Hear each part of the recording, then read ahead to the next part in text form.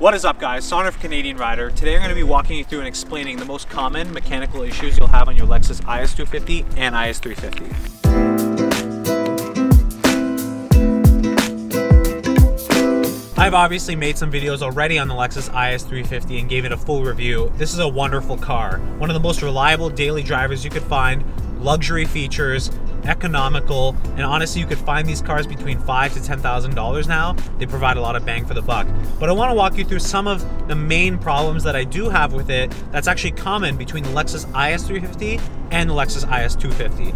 So my car is a Lexus IS350. It's a 2006 with about 300,000 kilometers on the clock. And my fiance's Lexus IS250 is a 2009 with about 300,000 kilometers. And you know, for the most part, these cars are phenomenal. Great reliability, um, no major problems or concerns on the car, but there are some quirks and issues that every car model or revision has. And in this case, for the Lexus IS series, the 250 and 350 for the Gen 2 model years, there are some common problems that we've found over time. There's small problems, but I wanted to make a video to update you guys on that and give you these points that you should think about when you're actually looking to possibly purchase this car in the future or for your daily maintenance on your current car right now. So I think number one, and I've said it in the review, one of the problems on both of the models is fuel consumption it is pretty, you know, bad in terms of fuel consumption. It's it's not great at all. You have to use premium fuel for both the IS250 and Lexus IS350. There's no getting around that. Otherwise, you may have some knocking, which is actually not good. So you need to use premium fuel on both. And in that case here, I'm still getting around, you know, I fill up my tank, it's about 70 to 80 dollars to fill up with premium fuel in Canada right now. Gas prices have dropped down significantly since, but I'm roughly getting in terms of, you know, mileage on mixed city, I'd say 50 city, 50% highway. I'm getting max 520 kilometers roughly on the Lexus IS350. And my fiance on our Lexus IS 250 is actually not that much better. Uh, in terms of like the difference between both cars, I don't really see any difference in fuel consumption um, between the two models at all. So that's why I made in the first video, I said if you had a choice between a Lexus IS 350 and 250 and you're thinking about fuel economy, it's a wash. There really is no difference between fuel economy for both of these cars. So fuel economy aside, the other issue that we found that's common that's been happening is oil consumption and oil burn. This is normal for so many cars that are getting older, especially for these cars with this type of mileage. It's nothing that's surprising. Um, actually, for my car specifically, I've had less oil burning issues since I've switched over for, to a full synthetic oil change um, and changing my oil every 10,000 kilometers. On my fiance's car, the Lexus IS250, those have issues um, with some fuel sludge and buildup if you're not using quality oil, and they also burn oil. In the case from my fiance's car, the 2009 Lexus IS250, we've seen a little bit more oil burn on that car.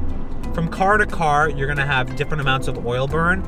It's honestly hard to say that all the cars in this model generation will burn a, a set portion of oil, but just be aware of that. Like I check my oil every month, right, through the dipstick. So does my fiance just be aware of that. Eventually, you'll know over time as you drive the car when it needs a top up of oil.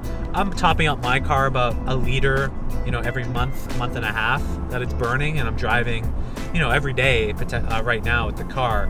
So just be aware of that. Oil burn is a thing on these cars.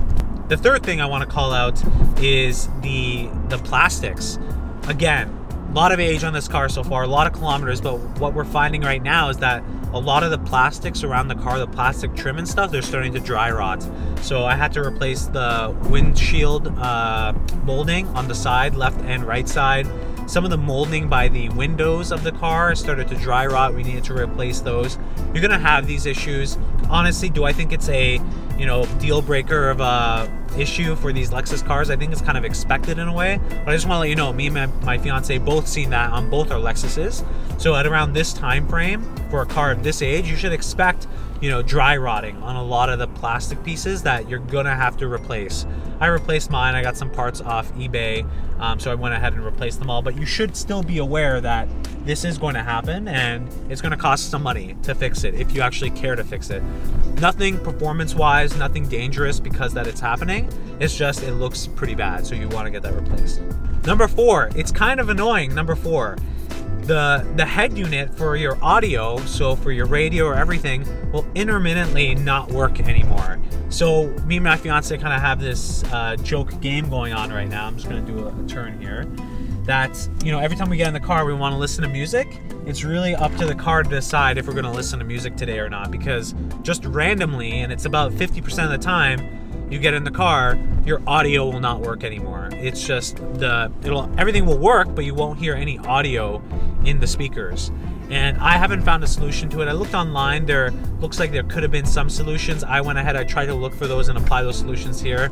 I didn't get to a fix, unfortunately. But me and my fiance both suffer from the same problem, right? On my Lexus IS 350 2006 and her 2009 IS 250. So just be aware that you may encounter that problem with this car. There are some kind of hack fixes online that could help. It didn't help me, it didn't help my fiance. Uh, so right now, that's a problem we deal with. Is it a game changer? Is it a big deal? No, but it's something that I think you should be aware of, uh, especially if you like music and you listen to music in the car. Um, you know, sometimes you're rolling the dice. Some days you'll listen to the radio, some days you won't be able to. Um, it's not a big deal, but I just thought I'd let you know anyway. And then finally, I think this issue isn't so much of an issue. It's actually a testament to Lexus quality is rust. Um, my fiance's car has no rust on it. That's amazing for a car that old with that many kilometers.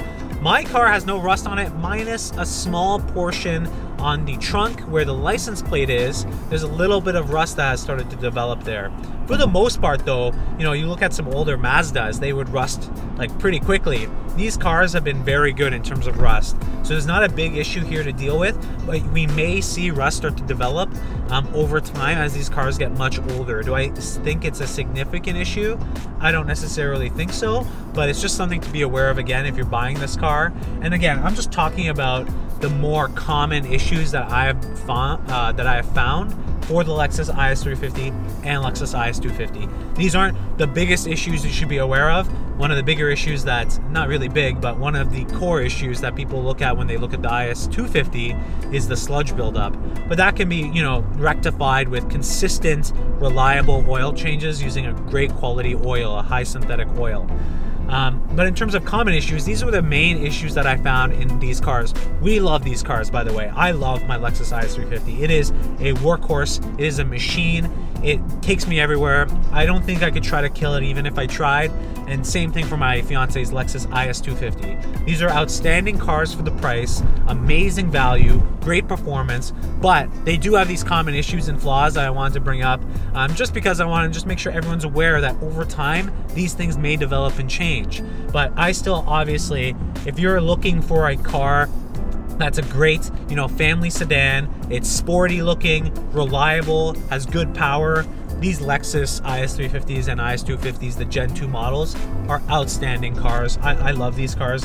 This car is amazing. I just dropped down the hammer, bang. That V6 just about 300 horsepower just takes you there. Really reliable, really fast. I'd be terrified if I had, let's say, an Audi 300,000 kilometers with maybe a turbo to crank it up all the time at that mileage. But with this car, I feel like I could do anything to it and it's gonna be rock solid steady. If you guys like this video, give it a thumbs up. Do you own one of these cars? Do you find one of these common issues in your Lexus that maybe I didn't talk about? Or do one of these issues actually are you dealing with right now? Maybe with the audio unit? Leave it in the comment box down below. I'd love to hear, actually for a lot of people in the future that are looking for these cars, leave those comments down in the comment box down below. But obviously, I love this car. It's amazing. If you haven't subscribed to the channel already, guys, make sure you subscribe. A lot of great videos coming out for 2020. I just want to say again, thank you guys so much for being part of the channel. Um, and I just, I'm going to be driving this car until, uh, who knows, maybe 400,000 kilometers. I love this car. It's amazing. Let me know your thoughts again. Thank you guys so much for watching. I'll see you guys in the next video.